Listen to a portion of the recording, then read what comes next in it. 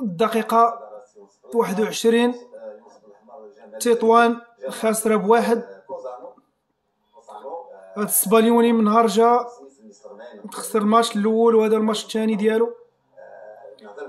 خايف على تطوان لا يكون ذنوب ديال الدريدب.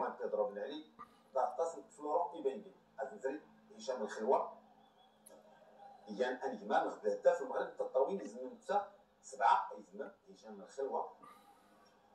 محمد كمال سموس طوني اجمالي كبير القمني نظر دوك هادي كوفرون ديال ديال تطوان الله مرابط تشيلوندا سنات رابورتور مهضر هشام الخلوه هشام الخلوه وتفوز